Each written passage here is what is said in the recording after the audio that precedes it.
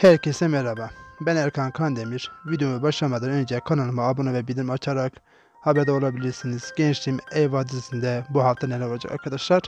Azra ve Ahmet'in tamamen ayrıldı mı? Azra kimi seçecek arkadaşlar?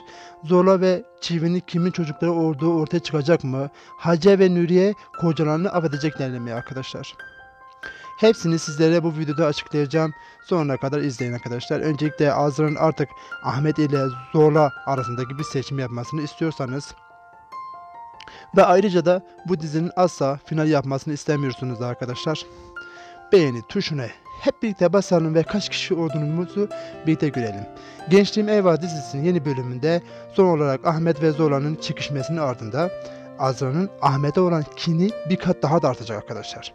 Ama Azra diğer bir yanı da hala Ahmet'i çok sevecek. Çünkü Azra Ahmet'e çok kızmış olsa da onu hala deli gibi sevmekte.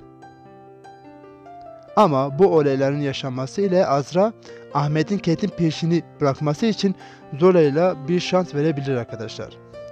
Zola ise Azra'ya çok sevdiği bir e, için ona karşı hata yapmaya yapmamaya gayret edecek. Ahmet ise Azra'nın kendisine kötü davranması sonucu orada ayrılıp çok üzülecek arkadaşlar.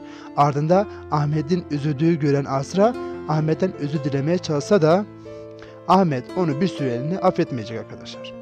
Ahmet ve Azra birbirlerine küs olsa da Ahmet Azra'yı asla zorlaya bırakmaya niyeti değil.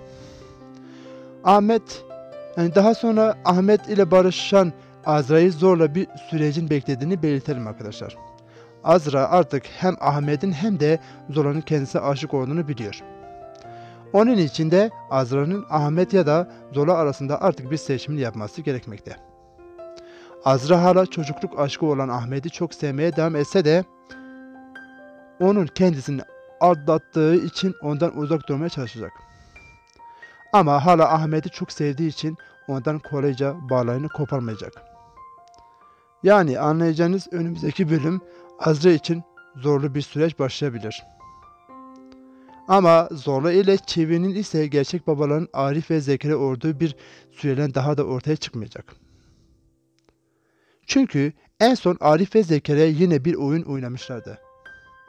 Ve Ç Çavi ile Zorla'nın sınır dışı edilmemesi için nüfusuna almışlardı. Yani Hacer ve Nuriye gerçekleri bir süreliğine daha da öğrenmeyecekler. Arif ve Zekeri'nin ise Zorla ve Çivi'nin sınır dışı edilmeleri için kendi nüfuslarına aldıklarını düşünecek. Ama onun için gerçeklerin yine ortaya çıkmayacağını söyleyelim arkadaşlar. Çünkü Nuriye ve Hacı artık dükkanlarda işleri yürütmeyecekler ve onun için Arif ve Zekeriya'yı affedecekler.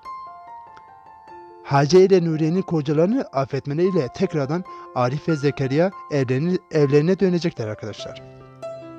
Peki sizce Ahmet mi Azra mı? Daha çok yakışıyor yoksa Zola mı? Aşağıda yorumlarınızı bekliyoruz arkadaşlar. Ee, böylelikle bu bölümün de sonuna geldik arkadaşlar. Ee, böyle videoların devamını istiyorsanız kanalıma abone ve bildirim açarak ve beğeni, yorum yaparak bana destekten olabilirsiniz. Kendinize iyi bakın. Görüşmek üzere. Sizleri çok seviyorum arkadaşlar.